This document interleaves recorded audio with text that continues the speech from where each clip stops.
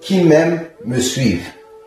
La question qui m'a été posée, est-ce qu'on doit attendre une, autre personne? Disons que vous êtes dans une relation et que l'autre personne doit prendre des décisions.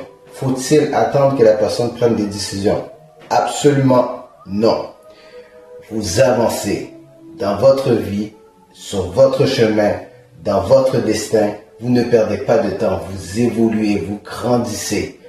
Comme je l'ai dit précédemment, ne réveillez pas l'amour avant qu'elle le veuille.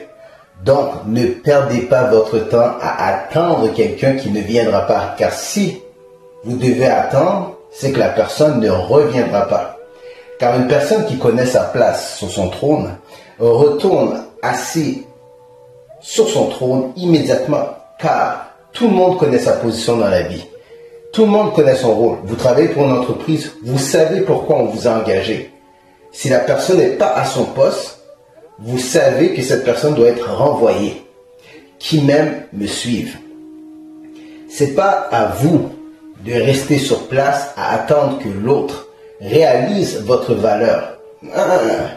Si vous êtes une Bugatti et que vous valez plus de 2, 3, 4, 5 millions de dollars et que la personne n'est pas en mesure, n'a pas les finances, n'a pas les reins solides pour pouvoir non seulement acheter ce véhicule que vous êtes de luxe, mais en plus n'a pas les compétences pour pouvoir conduire ce véhicule adéquatement, car la puissance est trop hum, superbe.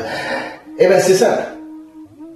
Si vous ne pouvez pas l'acheter, ne le prenez pas. Donc il y a des gens qui vont rentrer dans un concessionnaire qui vont dire oui, je veux ce véhicule, mais n'ont pas les moyens ou le crédit de pouvoir se procurer. Alors, on les renvoie et puis on dit regardez, prenez un véhicule de votre dans vos moyens. Exactement. Des fois, les yeux sont plus grands que l'appétit. Donc, pour répondre à la question, absolument non.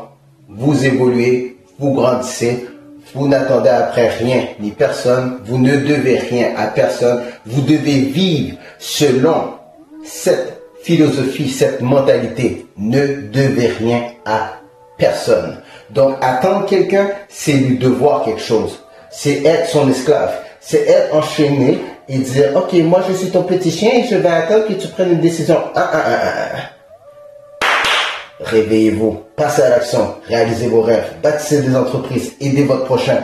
Faites une différence dans ce monde. Gardez votre vision, gardez votre plan d'action, restez dans votre mission, restez sur l'autoroute royale du succès. Si vous aimez nos podcasts et vous voulez apprendre tout sur le succès, l'amour, l'immortalité, l'écologie, la nature et la paix d'esprit, vous êtes au bon, endroit. John Henry Wesséchard TV. Hmm.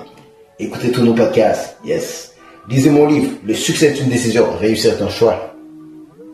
Joignez le Club des riches sur leclubdesriches.com et gardez l'œil ouvert, car l'œil vous regarde. Bon succès.